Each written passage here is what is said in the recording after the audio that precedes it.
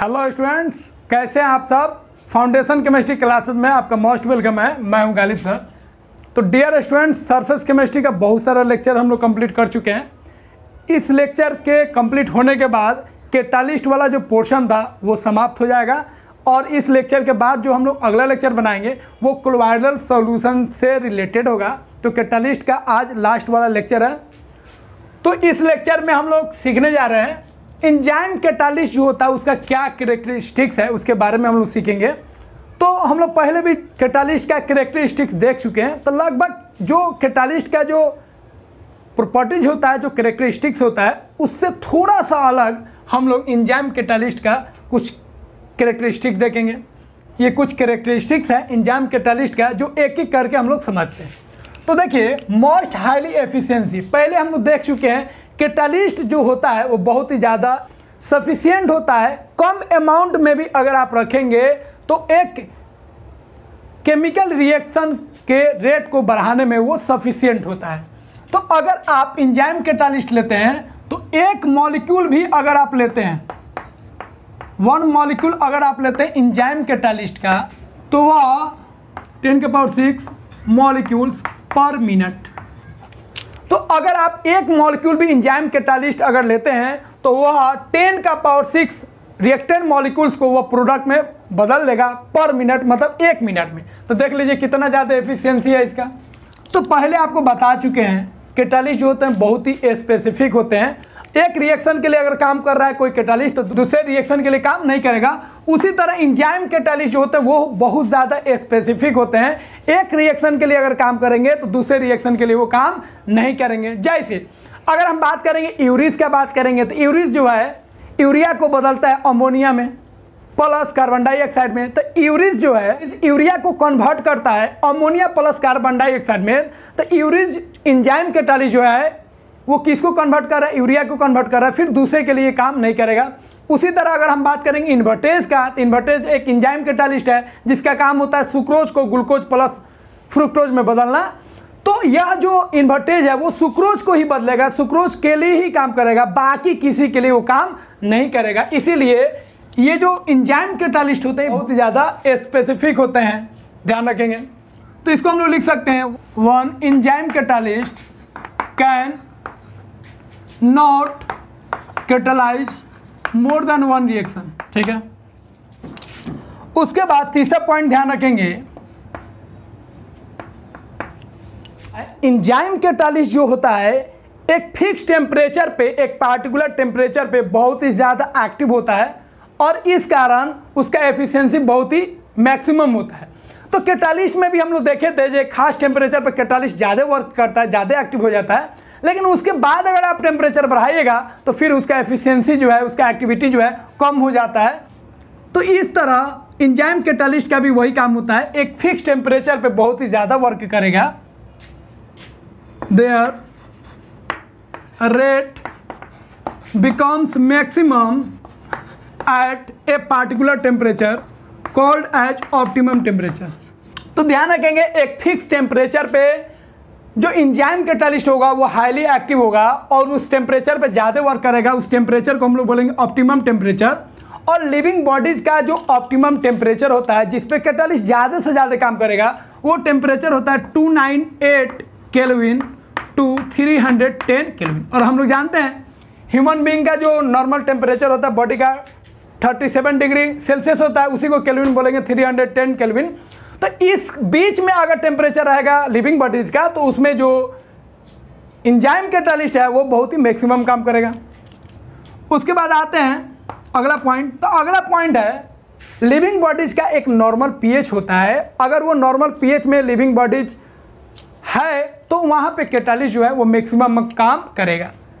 Their rate becomes maximum at a particular pH called as optimum pH.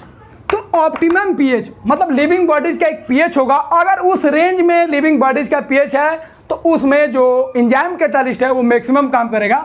और living bodies का जो normal pH रहना चाहिए, वो रहना चाहिए फाइव टू सेवन पीएच ठीक है? तो फाइव टू सेवन पीएच अगर आएगा तो इंजाइम कैटालिस्ट ज़्यादा से ज़्यादा वर्क करेगा। उसके बाद आते हैं अगला पॉइंट कैटालिस्ट को हम लोग पढ़ चुके हैं। कैटालिस्ट का एक साथी होता है जिसको हम लोग बोलते हैं प्रोमोटर्स प्रोमोटर्स कैटालिस्ट की क्षमता को बढ़ा देता है और वही हम लोग बात किए थे इनहिबिटर्स और पॉइजन जो कैटालिस्ट की क्षमता को क्या करता है? घटा देता है। उसी तरह इंजाइम कैटालिस्ट का दो साथी होता है। एक होता है को इंजाइम्स और एक होता है एक्टिवेटर एक्टिवेटर और को इंजाइम जो है इंजाइम कैटालिस्ट का जो एक्टिविटी है, जो क्षमता है, उसको बढ़ा देता है। जैसे, अगर हम बात करेंगे को इंजाइम का तो अगर इंजाइम कैटालिस्ट में इंजाइम कैटालिस्ट में अगर आप मिला देते हैं तो रेट ऑफ़ रिएक्शन जो है, वो क्या होगा? इंक्रीज कर जाएगा। मतलब विटामिन जो है इंजाइम कैटालिस्ट के लिए को इंजाइम का काम करेगा। इसको ध्यान रखेंगे। तो को इंजाइम के प्रजेंस में इंजाइम कैटालिस्ट का जो एक्टिविटी है, उसका जो टेंडेंसी है, वो क्या होगा? बढ़ जाएगा। उसी तरह, अगर इंजाइम कैटालिस्ट में हम लोग मेटल का आयन जोड़ दें।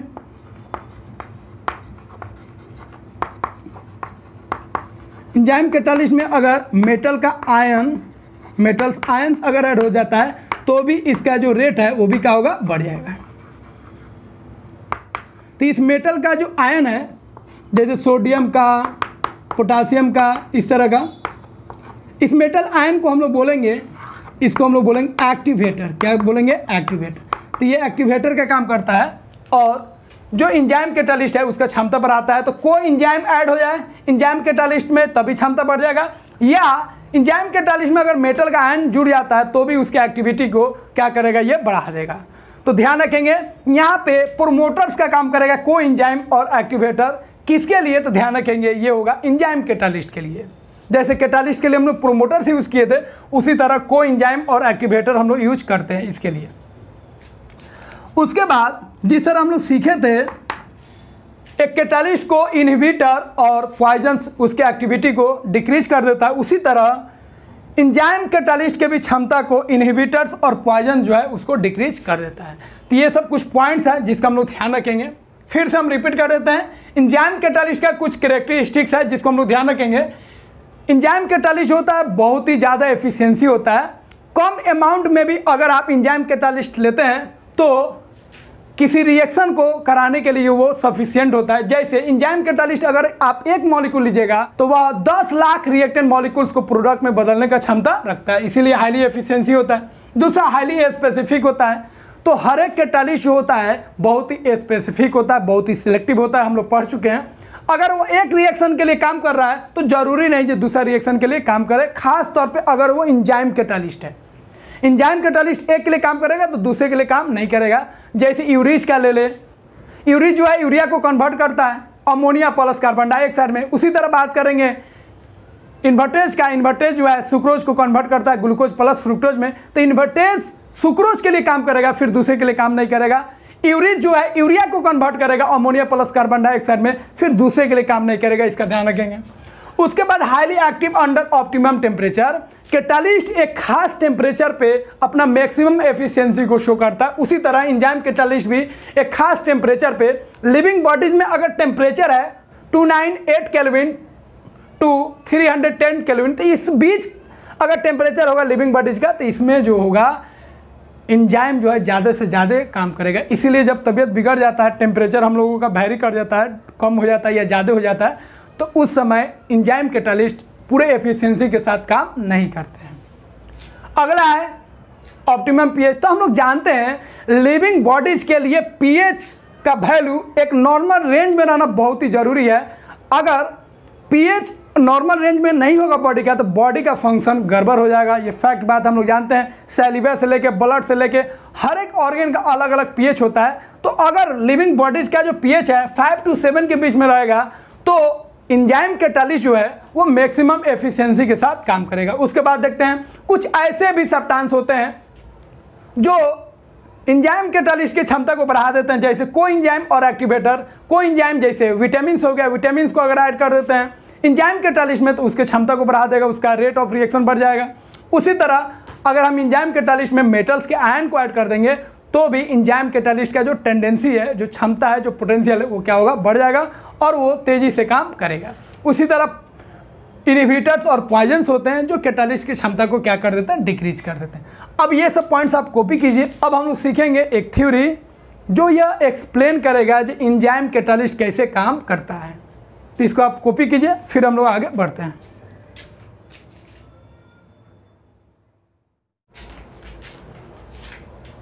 तो डियर स्टूडेंट्स अब हम लोग सीखने जा रहे हैं इंजाइम कैटालिस्ट का मैकेनिज्म इंजाइम कैटालिस्ट कैसे काम करता है? और इस मैकेनिज्म को हम लोग समझेंगे एक थ्योरी है की लॉग थ्योरी इसके लिए दो थ्योरी है। लेकिन केमिस्ट्री में हम लोग एन में जो दिया है की लॉग थ्योरी इसी से हम लोग समझेंगे। तो ये थ्योरी क्या कहता है? ये थ्योरी कहता है जो इंजाइम के पास कैविटीज़ होता है। क्या होता है? कैविटीज़ तो ये हो गया आपका कैविटीज़ या इसी को आप बोलेंगे पोर्स और ये बहुत ही एक्टिव होता है। तो ये हो गया आपका इंजाइम इसको ई से लिख देते हैं। और ये हो गया आपका रिएक्टेंट जिसको हम लोग बोलेंगे सबस्ट्रेट इंजाइम हो गया, ये आपका हो गया सबस्ट्रेट या इसी को आप बोलेंगे रिएक्टेंट तो थ्योरी में हम लोग समझेंगे इसका की लॉग थ्योरी नाम क्यों है? तो देखिए, इस इंजाइम के पास क्या है? कैविटीज है पोर्ट्स है, जिसको हम लोग बोलेंगे एक्टिव साइट क्या बोलेंगे? Active site it is active site of enzyme which contain active groups such as carboxylic acid, amine, alcohol etc. तो देखिए इंजाइम के पास कैविटीज होता है पोर होता है उस पोर को हम लोग बोलते हैं एक्टिव साइट क्या बोलते हैं? एक्टिव साइट क्योंकि यही जो है मेन होता है. इस इंजाइम का यही पोर जो है कैविटी जो है मेन होता है जो कैटालिसिस करता है. अब ये जो एक्टिव साइट है उस एक्टिव साइट पे कुछ एक्टिव ग्रुप जुड़े होते हैं, जैसे अल्कोहल कार्बोक्सिलिक एसिड अमीन ये सब जो ग्रुप है, वो एक्टिव होते हैं और उस एक्टिव साइट पे जुड़े होते हैं। अब एक और हो गया आपका रिएक्टेंट अब ध्यान रखना है, इसका जिस तरह का कैविटीज होगा इंजाइम कैटालिस्ट का जिस तरह का कैविटीज होगा, उसी का कॉम्प्लीमेंट्री शेप इसका होगा। जैसे ताला और चाबी को ध्यान से देखिए तो चाबी जिस शेप का होगा, उसी शेप का अगर ताला होगा तो दोनों एक दूसरे में फिट होंगे, और दोनों जब एक दूसरे में फिट होंगे तो वो चाबी काम करेगा और उस ताला को अनलॉक कर सकता है या लॉक कर सकता है। लेकिन अगर जिस तरह का ताला है, उस तरह का चाबी अगर नहीं रहे, या जिस तरह का चाबी है, उस तरह का ताला नहीं रहे तो दोनों आपस में फिट नहीं हो पाएगा, और वहाँ पे उस चाबी से वो ताला नहीं खुलेगा। इसका मतलब यहाँ पे क्लियर है जो ताला और चाबी को काम करना है। अगर ताला को अनलॉक करना है या लॉक करना है तो ताला और चाबी दोनों का सेप मायने रखता है। चाबी के काम के लिए, चाबी अगर काम करेगा, ताला को अनलॉक या लॉक करेगा तो उसके लिए दोनों का सेप एक दूसरे का कॉम्प्लीमेंट्री होना ज़रूरी है। जैसे ताला का सेप होगा, उसी के कॉम्प्लीमेंट्री सेप का अगर चाबी होगा, या चाबी जिस शेप का उसी का कॉम्प्लीमेंट्री शेप का ताला होगा, तभी ताला चाबी काम करेगा और ताला जो है, चाबी से अनलॉक हो जाएगा या लॉक हो जाएगा। इसीलिए दोनों का सेप ध्यान रखना था। इसका जो कैविटीज है, उसी का कॉम्प्लीमेंट्री शेप होना चाहिए सबस्ट्रेट के पास। It has complementary shape enzyme catalyst का जो शेप है, उसी के कॉम्प्लीमेंट्री शेप का इसको होना है। अगर ये कॉम्प्लीमेंट्री शेप इसका जो शेप है, उसके कॉम्प्लीमेंट्री शेप ये नहीं रहेगा तो फिर ये आपस में फिट नहीं हो पाएगा। तो जो इंजाइम कैटालिस्ट का जो शेप है, जो पोर्ट्स है, जो कैविटीज है, उसी का कॉम्प्लीमेंट्री शेप होगा किसका? सबस्ट्रेट का। और इस तरह दोनों क्या होंगे? एक दूसरे से फिट हो पाएँगे। तो दोनों एक दूसरे में क्या हो जाएँगे? फिट हो जाएँगे। तो ये चाबी जो है, ताला में क्या होगा भाई? अटैच हो जाएगा। तो लिखेंगे यहाँ पे substrate fit into cavities of enzyme catalyst to form activated complex. तो ध्यान रखेंगे, यहाँ पे जो आप देख रहे हैं, जो रिएक्टेंट है, उसका सेप जो इंजाइम कैटालिस्ट है, उसका जो कैविटीज है उसके कॉम्प्लीमेंट्री होना चाहिए। अब ये क्या होगा? सबस्ट्रेट जो होगा, इसका जो कैविटीज है, उसमें जाके फिट हो जाएगा, ऐसे फिट हो जाएगा। और जैसे फिट होगा तो उसको हम लोग बोलेंगे एक्टिवेटेड कॉम्प्लेक्स तो ये आपका फिट हो गया, इसको हम लोग बोलेंगे एक्टिवेटेड कॉम्प्लेक्स एक्टिवेटेड कॉम्प्लेक्स या इसी को आप बोलेंगे इंजाइम कैटालिस्ट कॉम्प्लेक्स तो जैसे दोनों फिट होगा तो उसको हम लोग बोलेंगे एक्टिवेटेड कॉम्प्लेक्स का फॉर्मेशन हो गया मतलब इंटरमीडिएट का फॉर्मेशन हो गया। फिर ये क्या होगा? ये ब्रेक करके it breaks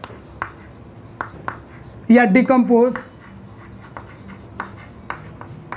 to yield product और ये टूट कर डिकम्पोज होकर प्रोडक्ट का फॉर्मेशन करेगा। और इस तरह इंजाइम कैटालिस्ट जो था, जैसा था वैसा ही रहेगा।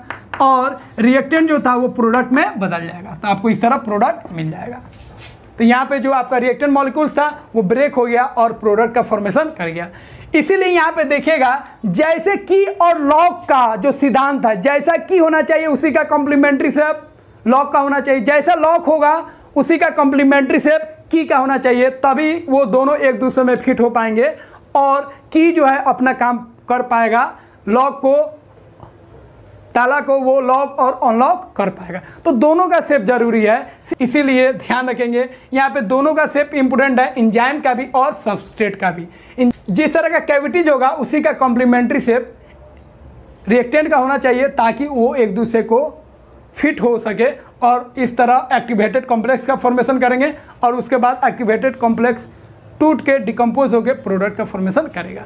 इसी थ्योरी को बोलते हैं की लॉक थ्योरी क्योंकि ये की लॉक की लॉक जैसा सिमिलर है। इसीलिए इसको हम लोग क्या बोलेंगे? की थ्योरी तो डियर स्टूडेंट्स इसको आप कॉपी कीजिए। फिर हम लोग नेक्स्ट लेक्चर में मिलेंगे नए लेक्चर के साथ, जिसमें हम लोग कोलवाइडल सॉल्यूशन के बारे में पढ़ेंगे। कोलवाइडल सॉल्यूशन हम लोग नेक्स्ट लेक्चर से स्टार्ट करेंगे।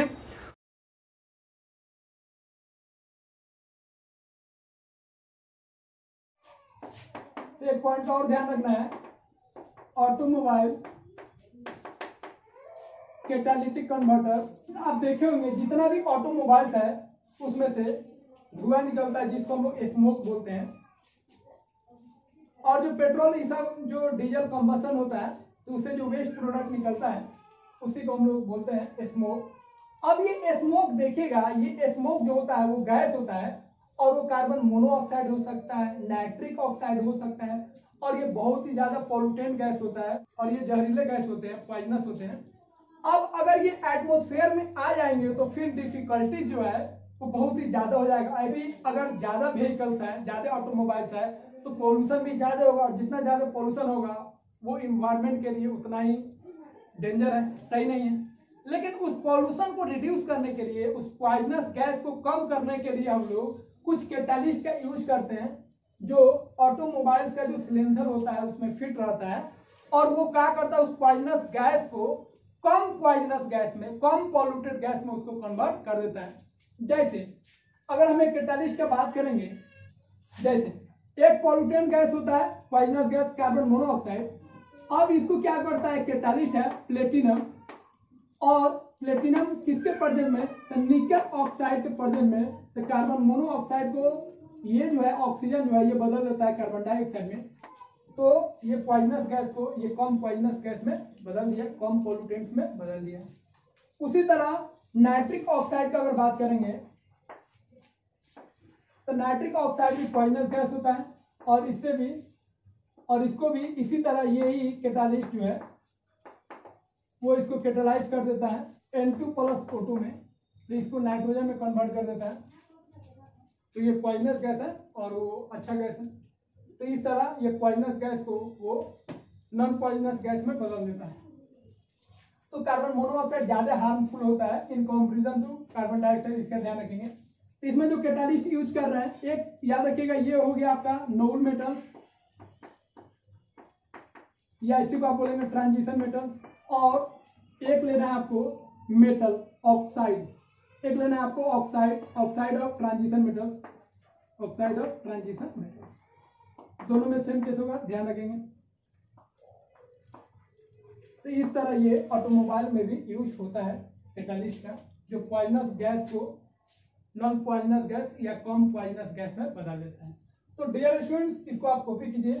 फिर हम लोग नेक्स्ट लेक्चर में सीखेंगे क्लोराइड के बारे में। तो डियर स्टूडेंट्स हम लोग सरफेस केमिस्ट्री का एब्जॉर्प्शन वाला पार्ट कर चुके हैं। एब्जॉर्प्शन एब्जॉर्प्शन ये सब जितना भी था पढ़ चुके हैं। उसके बाद सेकेंड पार्ट में हम लोग कैटालिस्ट के बारे में हम लोग अब इस लेक्चर को खत्म करने के बाद ये पोर्शन हमारा कंप्लीट हो गया। अब थर्ड पार्ट हम लोग अगले लेक्चर में स्टार्ट करेंगे, जिसमें हम लोग क्लोराइड क्या होता है, उसके बारे में हम लोग पढ़ेंगे, सीखेंगे क्लोराइड के बारे में। तो डियर स्टूडेंट हम लोग फिर नेक्स्ट लेक्चर में मिलेंगे। तब तक के लिए bye bye best of luck take care